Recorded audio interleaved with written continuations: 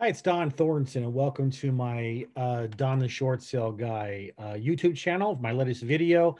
And what I want to do is I want to review an article that came out in Bloomberg yesterday that has to do with, uh, you know, the tidal wave uh, of uh, distressed sellers. And I want to go ahead and read a part of this from from the uh, article. So uh, if you want to get the full article, you can just go to Blue, just Google Bloomberg and uh, so Bloomberg tidal wave, and you can find it there. It's, I'm not going to go in and post a link or anything. You can find it on your own. But basically, what it says is that mortgage companies could face penalties if they don't take steps to prevent a deluge of foreclosures that threatens to hit the housing market later this year.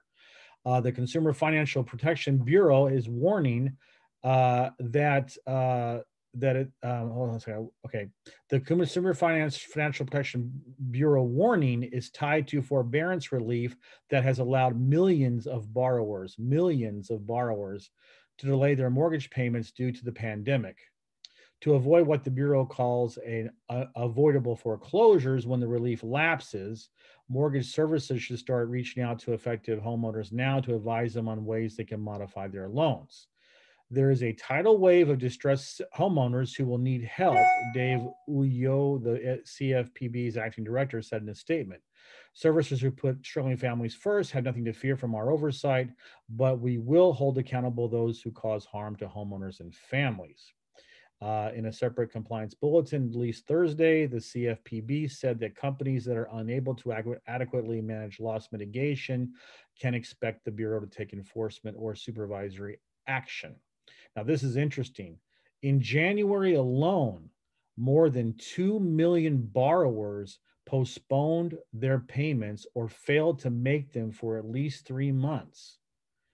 And uh, it says here that once the government authorized forbearance plans begin to end in September, hundreds of thousands of people may need assistance in getting on, getting back on track.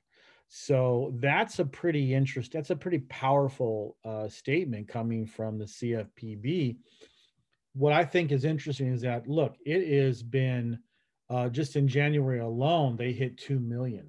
I mean, I, I've been saying this since the pandemic started that we're just, all that's happening now is that they're, the, the forbearance plans are kicking the can down the road and uh, just I know for a fact that a lot of people are not getting their their um, loan modifications.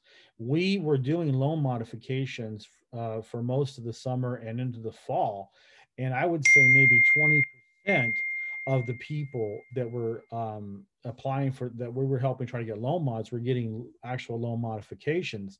Most of them were being denied. Now, um, we know that uh, the Biden administration has uh, basically, um, you know, kicked the can down the road again on uh, starting up federally, uh, you know, foreclosures on fe- federal mortgages, USDA, uh, VA, Fannie and Freddie Mae, Fannie Mac, Freddie Mac and Fannie Mae, and FHA. But you know, it, there are people that have lost jobs. There are people that have not gotten their jobs back or their income is greatly reduced. And those people are not going to qualify for loan modifications. It's just a fact. And look, we're still in a COVID situation here. And no matter what, I mean, yes, the vaccines are rolling out well and so forth. But I mean, who knows what's going to happen by the end of September? And we'll see but i mean it's not so easy to just you know snap your fingers and think that the economy for those people is going to come back. I mean there's just been uh, certain sectors of the economy have just cratered. And um, there is going to be a tidal wave of short sales and foreclosures coming. I've been saying this for a long time. I did not expect the government to be so proactive on help on giving people time but it's like anything else. I mean, you can. It's like a little kid with you know putting his finger in the dike with that that with that uh, you know uh, folk story in Holland.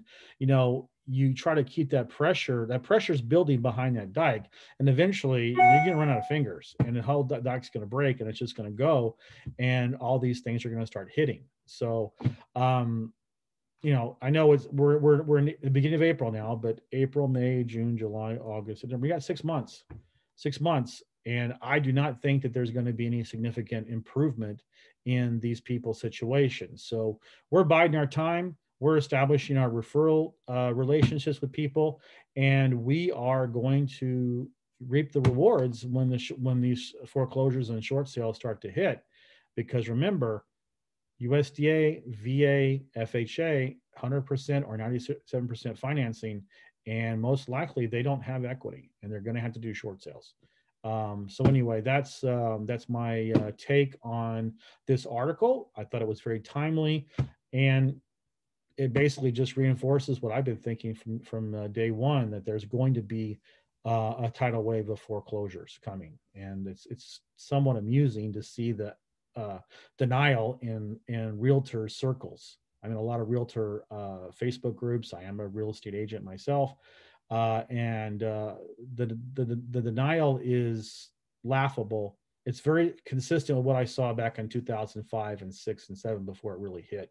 I could see what was happening, but but people think that well, it's never going to change, right? We're gonna, you know, the, there's this innate human feature that we never we we never think that um thing that the, the the good times are going to end and and whenever they do end everybody's so shocked and it's like you just have to look at the signs.